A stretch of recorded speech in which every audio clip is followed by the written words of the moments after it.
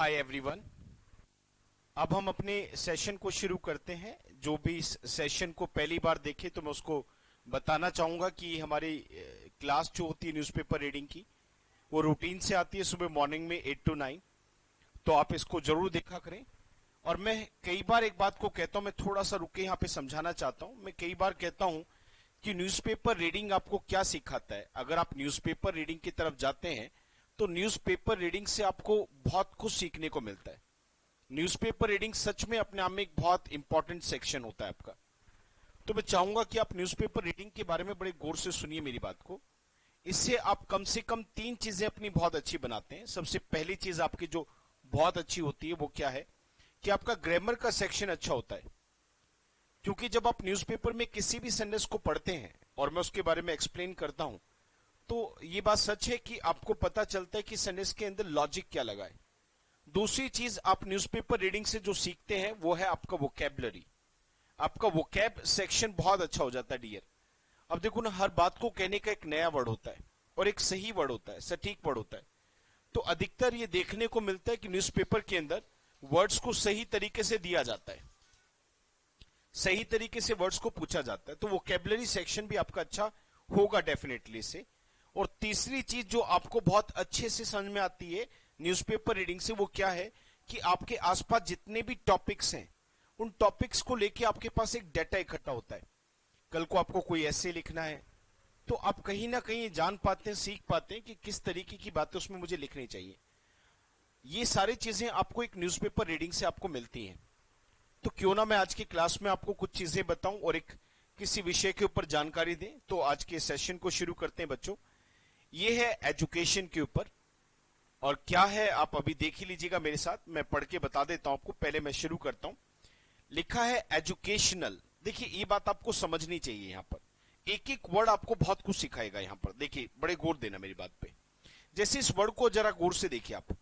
Education तक सभी ने पढ़ा है, ये शिक्षा होती है।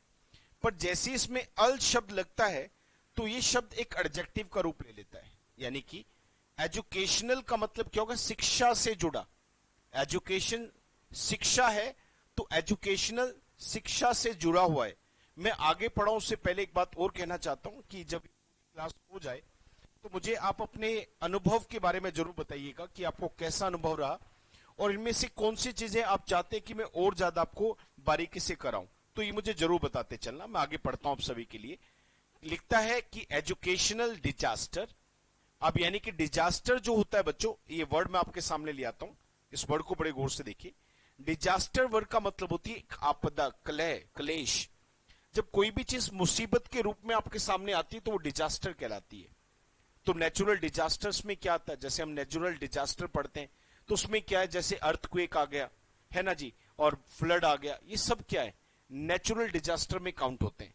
तो यहाँ पर आप पढ़ते चले एजुकेशनल डिजास्टर यानी कि एजुकेशन में आने वाला जो आगे प्रॉब्लम्स है आपके लिए, एक मुसीबतें जो आएँगी, उसके बारे में कहता है लूम्स यहाँ पर देखिए कितना प्यारा वर्ड है एक्चुअल में लूम एक वर्ब है, जिसका एस लगाने से लूम्स किया, क्योंकि यहाँ पे एजुकेशनल डिजास्टर्स नहीं डिजास्टर था।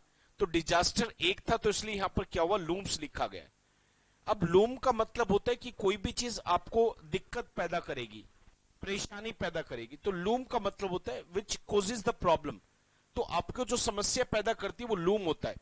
आगे मैं पढ़ देता हूँ आप सभी के लिए। इसमें देखिए क्या कहते हैं। इफ़ नो सोल्यूशन देखिए मैं कितनी बार एक बात को बताता हूँ बच्चों, आपको इसी सीख लेनी चाहिए। देखिए सोल्यूशंस आप सब जानते हैं सोल्यूशंस होते हैं किसी भी चीज़ के समाधान। पर आप किसी भी चीज़ या व्यक्ति से पहले अगर नो लगाते हो तो उसका मतलब वो चीज़ वहाँ पर नहीं है। इसका मतलब सोल्यूशंस नहीं है। तो नो सोल्यूशंस हमने इसमें बोल दिया। अब आगे की तरफ़ बढ़ देता हूँ। इफ़ नो सोल्यूशन अगर कोई सोल्यूशन नहीं, क्या कहता है यहाँ पर? अब देखिए, मैं आगे और पढ़ देता हूँ आपके लिए। Are quickly are quickly found are quickly found अगर जल्दी से कोई सोल्यूशन नहीं लिए गए तो डेफिनेटली आपको दिक्कत आने वाली। अब एजुकेशन डिजास्टर पैदा हो जाएगा। ये बात सच है कि इस लॉकडाउन में एजुकेशन का हमने एक पहलू अभी तक नहीं देखा। सभी लोग कहते हैं कि ऑनलाइन कोचिंग तो चल ही रहा है ऑनलाइन तो बच्चों का क्लासेस चल ही रहा है, पर आप एक चीज़ नहीं जानते डियर मैं शिक्षक हूँ ऑनलाइन क्लासेस से जुड़ा हूँ तो एक गहरी समस्या है ऑनलाइन क्लासेस की जो बहुत रेयर लोग जानते हैं। मैं चाहूँगा कि अब मैं इसको पढ़ के बताऊँ, आपको एक एक चीज़ समझाऊं, देखिए क्या है। अब मैं टॉपिक पढ़ता हूँ। आप हमेशा जब भी अखबार में किसी टॉपिक को पढ़े तो आप ये ज़रूर देखें कि वहाँ पर जो राइटर है, उस राइटर ने कैसे अपनी बातों को शुरू किया मैं चाहूँगा कि आपके लिए पढ़ दूँ। द कोविड नाइनटीन आप एक एक वर्ड को ना देखिएगा, मैंने कैसे बोला है। द कोविड नाइनटीन पेंडेमिक आप सब जानते हैं, किसी भी आपदा को आप पेंडेमिक शब्द से बोलते हैं। Been with us since almost the beginning of the year यानी कि जो ये वर्ष है, इसकी शुरुआत से। The beginning of the year का मतलब हुआ बिज़नेस मतलब इस ईयर की शुरुआत से। ये पेंडिंग हमारे साथ पेंडेमिक हमारे साथ है। तो एक बहुत प्यारी बात इंग्लिश में पढ़ी जाती है कि कोई भी चीज़ पास्ट में शुरू हुई और वो अभी भी है। पास्ट से शुरू होके अभी तक है तो ऐसी चीज़ों में हम हैव बीन या हैज़ बीन लगाते हैं। अब जैसे कि पेंडेमिक एक है तो एक होने की वजह से यहाँ पर हैवना लगा के हैज़ लगाया गया है। तो ये चीज़ आपको समझनी थी। जैसे यहाँ पे एक वर्ड पढ़ रहे हैं आप ऑलमोस्ट तो इसी न्यूज़ के अंदर, इसी आर्टिकल के अंदर आपको ऑलमोस्ट का एक सिनोनिम और मिलेगा, जो एग्ज़ाम में कई बार आ चुका है। With us since almost the beginning अब मैं आगे बढ़ता हूँ और देखिए इस बात को पढ़ने की कोशिश करते रहना बेटा, मेरे साथ चलना। आप किसी भी चीज़ को सीखते हैं तो आपकी क्यूरियोसिटी ही बताती है कि आप कितना सीखने के लिए अग्रसर हैं, कितना आप सीखना चाहते हैं।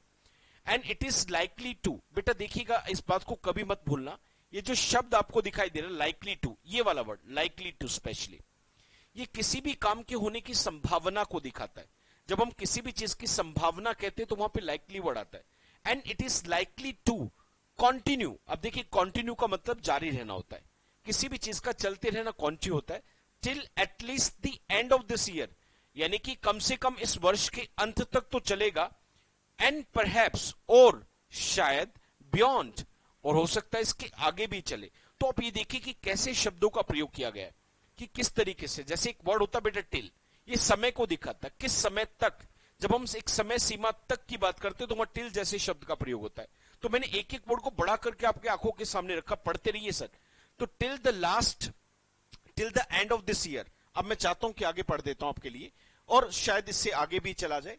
It has had the most profound effect इस वर्ड को बड़े गौर से देखिएगा बेटा। प्रोफाउंड अब प्रोफाउंड शब्द का मतलब होता है बेटा, बहुत गहरा। बहुत गहरा। जब हम कहते हैं ना प्रोफाउंड इफेक्ट्स होते हैं तो बहुत गहरे प्रभाव होते हैं। गहरे मतलब जिसने बहुत ज़्यादा प्रभाव डाला हो। तो इफ़ेक्ट कैसा है? जिसने बहुत ज़्यादा गहरा है। तो प्रोफाउंड इफ़ेक्ट ऑन और ध्यान रखिएगा बेटा, जब आप इफ़ेक्ट से प्रभाव दिखाते तो जिसके ऊपर प्रभाव है ऑन करके उसका नाम आता है। तो effect on the life of जीवन हो गया बेटा। जीवन किसके वर्चुअली इस वर्ड को देखिएगा बेटा, यहाँ पे क्या लिखा रहा है? वर्चुअली अब वर्चुअली का मतलब होता है ऑलमोस्ट मैंने कहा था ना आपको कि मैं एक वर्ड और दूँगा आपको ऑलमोस्ट जैसा. जैसे ऑलमोस्ट वर्ड होता है तो इसी का मतलब वर्चुअली भी होता है. तो वर्चुअली का मतलब भी होता है लगभग. तो ऑलमोस्ट वर्चुअली दोनों का मतलब एक है, दोनों सिनोनिम्स है एक दूसरे के. तो इसे वर्चुअली मैंने एक शब्द से बोला. आप गौर से सुनते चले बेटा, देखिए मैंने क्या कहा. The life of virtually every person यानी कि ऑलमोस्ट हर एक व्यक्ति, यानी कि इसका बहुत गहरा प्रभाव हर एक व्यक्ति के जीवन पे पड़ा है एवरी वन एवरी पर्सन अब आगे देखिए क्या कहता है on the planet on the planet का मतलब इस अर्थ के ऊपर की बात करें one can only think of बेटा देखिए मैं कई बार इस बात को कहता भी हूँ। मैं चाहूँगा कि इस बात के बारे में थोड़ा सा मैं आपके सामने शेयर ज़रूर करूँ। मैं इसको यहाँ ले लेता हूँ। सुनिएगा बेटा बड़े गौर से। इस थिंक का मतलब सोचना होता है, और जिस चीज़ के बारे में आप सोचते हैं, आप चाहो तो वहाँ ऑफ़ लगा लो और चाहो तो फिर आप एक वर्ड लगा दो अबाउट यानी कि थिंक अबाउट कह दो या थिंक ऑफ़ कह दो, दोनों का मतलब है के बारे में सोचना. Think of the world wars of two thousand century यानी सॉरी ट्वेंटी सेंचुरी तो ये क्या है कि टू वर्ल्ड वॉर्स हैं किसके ट्वेंटी सेंचुरी के? दैट हैव हैड इस वर्ड को बड़े गौर से देखना बेटा. दैट हैव हैड जिसने अभी तक किया है had comparable impact comparable impact जिसका आप तुलना कर सकते हैं बेटा। आगे की तरफ़ देखिए कहते हैं most of us have been confined to कितना प्यारा वर्ड है, कितनी बार एग्ज़ाम में आ चुका है कि कन्फाइंड के साथ कौन सा प्रेपोजिशन आता है? कितनी बार एग्ज़ाम में पूछा जा चुका है कि कन्फाइंड के साथ कौन सा प्रेपोजिशन आता है? कन्फाइंड का मतलब किसी एक जगह पर, किसी एक प्लेस के अंदर हमें रोक देना होता है, पर बंद कर देना, उसको हम कन्फाइंड वर्ड से दिखाते हैं। इस बात को बड़े गौर से समझिएगा तो कन्फाइंड का मतलब किसी प्लेस के अंदर में रोक देना होता है। तो कन्फाइंड के साथ जहाँ पे हमें रोका गया है टू करके उस प्लेस का नाम आता है। तो कन्फाइंड टू का मतलब उस प्लेस तक हमें जोड़ देना have been confined to our homes आगे ना बेटा प्लेस हमारे घर तक इस पेंडेमिक ने हमें क्या किया रोक दिया है। हैविंग टू एडजस्ट और मजबूरी। बेटा, देखिए हैव टू के बाद।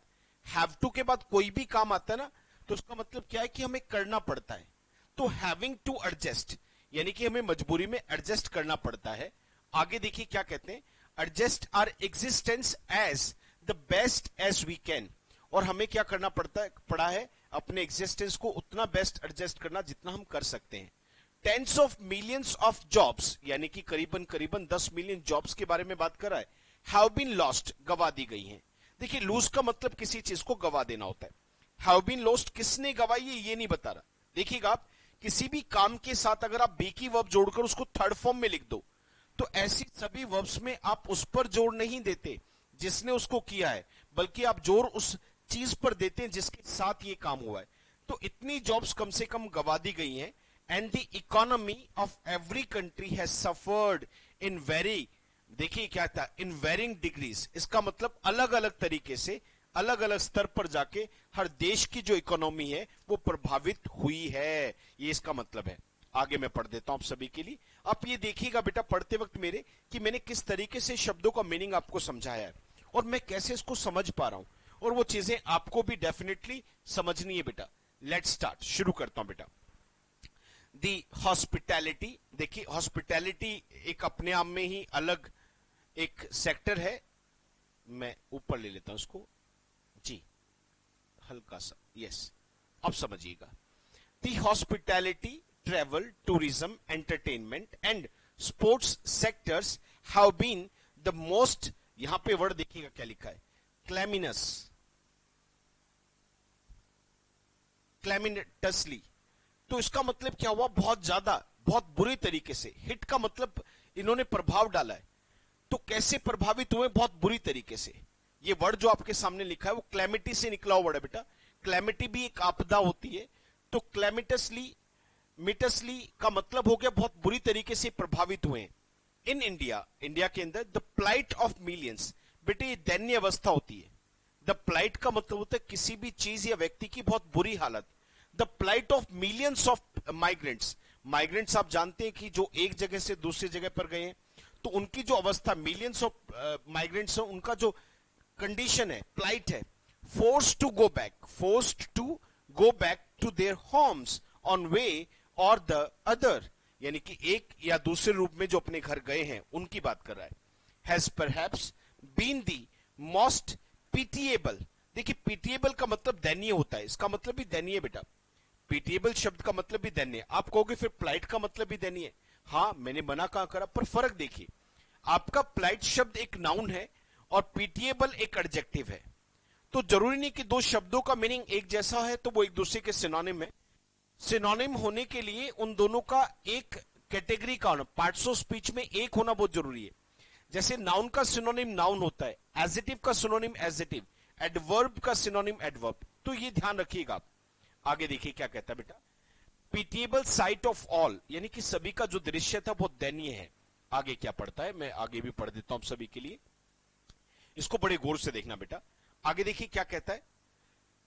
However not enough attention has been paid to school and college going children कहते ये हाउ एवर वर्ड समझ लीजिए बेटा। कई बार बच्चे समझते हैं कि एवर का मतलब क्या है। एवर का मतलब होता है बच्चों बट जब हम जो बात कही है, उसका बिल्कुल अपोजिट कहें तो बट कह रहा पर इनफ इनफ अटेंशन का मतलब पर्याप्त अटेंशन और नॉट लग गया तो इसका मतलब पर्याप्त अटेंशन नहीं. Has been paid to school और कॉलेज गोइंग देखिए स्कूल गोइंग और कॉलेज गोइंग का मतलब है स्कूल में जाने वाले और कॉलेज में जाने वाले बच्चे children who are the foundation of our future जो हमारे भविष्य की नींव है।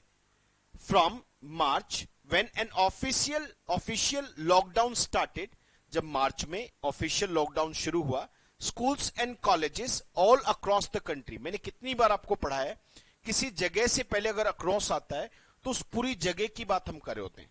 तो all across the country have been closed यानी कि जो स्कूल्स हैं कॉलेजेस हैं, पूरे कंट्री के अंदर बंद कर दिए गए। आगे मैं पढ़ देता हूँ आप सभी के लिए क्या कहता है यहाँ मैं ले आता हूँ, आप बड़े गौर से देखिएगा। एंड द क्लोजर देखिए क्लोजर का मतलब होता है बंद। किसी भी चीज़ का बंद होता है the closure and the closure will remain in effect till at least the end of this month हो सकता है कि ये जो क्लोजर है वो सितंबर के महीने के अंत तक चले और परहैप्स इवन लॉन्गर और हो सकता है कि क्लोजर ऐसे ही और आगे भी चला जाए।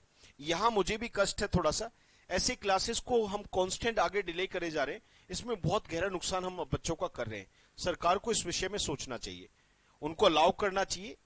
आप, हम दो दो स्लॉट्स में बच्चों को बुला लेंगे, सभी स्कूल्स के कॉलेज के, जो बच्चे बड़े हैं, जो केयर कर सकते हैं अपनी। पर यहाँ सरकार को थोड़ा सा इसके विषय में सोचना चाहिए, जो मुझे लगता है। आपको क्या लगता है? That I don't know in most other countries अधिकतर कंट्रीज़ में the lockdown was announced earlier बहुत सारी कंट्रीज़ में लॉकडाउन पहले अनाउंस किया गया than March but has now been lifted यानी कि अधिकतर कंट्रीज़ में लॉकडाउन को हटा दिया गया है। स्पेशली एजुकेशन को भी वहाँ पर खोल दिया गया है। ये बात सच है? और ये इसका, मैं ये कहता हूँ, बहुत सारे आप में से हो सकता है कि इसे गलत कहते होंगे, पर जो बच्चे अपना केयर कर सकते हैं। अभी भी क्या बच्चों कोविड 19 का प्रभाव स्कूल में जाने वाले कॉलेज में जाने वाले बच्चों पे नहीं पड़ रहा है? डेफिनेटली पड़ रहा है। क्या उसे, अब एक चीज़ बताइए आप, क्या अब उनके चांसेस घट गए हैं कि उनको कोरोना वायरस नहीं होगा? बच्चे ऐसे ही घूम रहे हैं, वही क्रैक जैक और ये सब कुछ खा रहे हैं चिप्स लेज वो सब खा रहे हैं। कम से कम स्कूल में जाएगा बच्चे का, ढंग से खाना खाता है बच्चा तीन बार खाना खाता है यहाँ घर पे रहकर एक बार भी ढंग से, दो बार भी मुश्किल से खाना खाता है। आगे देखिए क्या कहता है। फॉर मैनी एजुकेशनल इंस्टीट्यूट्स यानी कि ऐसे इंस्टीट्यूट्स जो एजुकेशन से जुड़े हैं with restrictions of course like the compulsory wearing of mask यानी कि स्कूल्स में मास्क का पहनना कंपल्सरी कर दिया social distancing and sanitizing of classrooms ये सारी चीज़ें उन्होंने क्या किया? कंपल्सरी कर दिए। In the UK for schools have reopened despite continuing corona virus infection UK में तो कोरोना वायरस के इन्फेक्शन के बावजूद भी स्कूल्स को खोल दिया गया है। It has taken into account और ये देखिए, ये संज्ञान में आया इसका मतलब विचार में आया है। देखिए क्या? मैं ऊपर लिया तो। ये हाँ अब पढ़ते हैं बेटा, देखिए क्या? Taken into account that the risk involve arguing that there is no real substitute yet for providing children with physical classrooms and face to face interaction with their teachers तो उन्होंने कहा कि ये चीज़ अपने दिमाग में देखिए, सबके सामने आई है। और कोई दूसरा तरीका है भी नहीं कि कैसे आप बच्चों से फेस टू फेस मिलकर उनको क्लासेस देंगे। Even though the number of children in the classroom will be restricted हाँ एक तो बात है कि क्लास में बच्चों की संख्या रिस्ट्रिक्टेड कर दी। इसका समाधान है, हमारे पास भी है। अगर हमें सरकार अलाउ करेगी तो डेफिनेटली हम बच्चों को बुलाएँगे और जहाँ हम एक भी दिन नहीं पढ़ा पा रहे, वहाँ हफ़्ते में हम क्या करेंगे? तीन दिन, चार दिन पढ़ाएँगे। तो ये पॉसिबल है।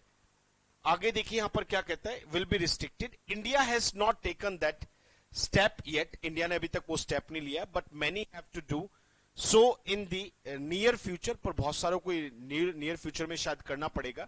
अर्लियर स्टैगरिंग स्टैगरिंग का मतलब होता बेटा शॉक कर देने वाला, हैरान कर देने वाला। 3 point uh, sorry 1.3 billion of the world's children the entire अब देखिए आगे इसमें क्या कहना चाहता है मैं इसको पढ़ देता हूँ आप सबके लिए। आप इसमें ये देखिए बेटा मैं इसका हिंदी मीनिंग नहीं समझा रहा हूँ। अच्छा एक बात है न्यूज़पेपर रीडिंग से आपका पैसेज रीडिंग भी अच्छा होता है आपका क्लोज टेस्ट भी अच्छा होता है आपका पीक्यूआरएस भी अच्छा होता है। पर आप ये मत देखिए मैं इसकी हिंदी कैसे बना रहा हूँ। आप ये देखिए कि मैं किन शब्दों की वजह से ऐसा बोल पा रहा हूँ। Population of India were out of schools in 186 countries for at least six months. Hence, this has been a global challenge. ये एक वैश्विक चैलेंज है for which global solutions need to be found urgently तो हमें क्या करना चाहिए इसके ग्लोबल सॉल्यूशंस भी बहुत तर्ज पे अर्जेंटली का मतलब तुरंत प्रभाव से निकालने चाहिए इफ़ वी इफ़ नॉट अगर नहीं होता तो we face the prospect of a generation of educationally stunted children who will find it difficult to cope as adult तो देखिए यहाँ पर क्या कहता है कि यहाँ पर बच्चों के ऊपर बहुत गहरा प्रभाव पड़ेगा और जब वो अडल्ट होंगे, यानी कि अपने व्यस्क दौर में जाएँगे तो इस एक लॉकडाउन का उनके ऊपर बहुत गहरा बुरा प्रभाव पड़ेगा। हियर आई इंटेंट टू से देखिए इंटेंट टू का मतलब होता है जब हम किसी भी काम के पीछे अपनी इंटेंशन को बताते हैं। किस इंटेंशन के साथ मैं बात कह रहा हूँ? Here I intend to only deal with the children deal with का मतलब होता किसी चीज़ का सामना करना तो deal with the challenges faced by our country तो कह रहा है कि मेरा केवल यहाँ पर एक ही मुद्दा है कि मैं कैसे अपनी कंट्री के अंदर जो चैलेंजेस हैं उनको डील करूँ being a member of the Delhi public school society मैं एक पब्लिक जिन राइटर ने लिखा है वो बता रहे हैं being a member of the Delhi public school society उसका एक सदस्य होने की वजह से विच इधर डायरेक्टली रन और has franchised out over 200 private schools all over India तो ये दिल्ली पब्लिक जो स्कूल की सोसाइटी है, वो अपना भी चलाती है उसने फ्रेंचाइजी भी दे रखी है और कितनी दे रखी है देखिए कह रहा है। यहाँ पे इन्होंने बता दिया। आगे मैं पढ़ देता हूँ, देखिए क्या कहता है। मैं इस पैसेज को यहाँ तक पढ़ूँगा और आपके, है ना ग्रुप में जो टेलीग्राम का ग्रुप है, उसके अंदर इसका लिंक डाल दूँगा। और इस अखबार का वहाँ पे पढ़िएगा बेटा। मैं थोड़ा सा नीचे, यहाँ तक यस यहाँ तक देखिए। क्या कहता है? All over India I have been exposed to exposed to the problems देखिए एक्सपोज टू का मतलब होता है, जब कोई चीज़ आप तक पहुँची है तो I have been exposed to the problems यानी कि मेरे तक ये समस्या है, मैं समस्या को फेस कर चुका हूँ, ये मैंने महसूस किया है। The problems that the schools are now grappling with बेटा ग्रैपल विद का मतलब किसी भी चीज़ का, जैसे डील विद होता है ना, सामना करना, ऐसे ग्रैपल विद का मतलब भी सामना करना होता है। Consequent to the pandemic with the sudden physical closure of schools अचानक से स्कूल्स का ऐसे बंद हो जाना, इसकी वजह से बहुत बड़ी दिक्कत आई है। उसके बुरे प्रभाव स्कूल्स ने झेले आगे देखिए क्या कहता है। यहाँ पर इस राइटर के द्वारा क्या कहा जाता है। Online teaching has become absolutely essential online teaching बहुत ज़रूरी हो गई है for 240 million children and 9 million teachers और 9 मिलियन टीचर्स के लिए और इतने स्टूडेंट्स के लिए। वाइड रेंजिंग implications बेटा implications ऑफ़ दिस किसी भी चीज़ के बुरे परिणाम of this are slowly drawing us drawing on us, उसके बुरे प्रभाव हमारे ऊपर आ रहे हैं, देखिए कैसे। मैं इसको आगे पढ़ देता हूँ आप सभी के लिए। ये देखिए क्या कहता है, कैसे आ रहे children parents and teachers four years ago there were only 1.6 million Indian users for the online education यानी कि इसके केवल इतने यूज़र्स थे uh, market, but next year that number is expected to skyrocket to 10 million. ये इतना हो जाएगा. Giving an indication of the phenomenal growth and importance. Importance of online learning. Enormous adjustments are going on. बहुत सारी adjustments uh, होती है बेटा किसी भी चीज़ को लेके आप ढलते हो ढालते हो तो वो चल रही है to be needed for teachers and their students alike यानी कि दोनों के लिए eye to eye contact between the teacher and students in a physical classroom even with 30 to 40 students is essential बहुत ज़्यादा ज़रूरी है। अब मैं चाहूँगा कि स्पेसिस के आगे जो लिखा है, अगला एक पैराग्राफ मैंने नहीं पढ़ा है, उस पैराग्राफ को आप पढ़ के देखें कि उसमें है क्या चीज़। जब आप उसे एक बार पढ़ेंगे तो आप उसमें सीखेंगे भी बेटा।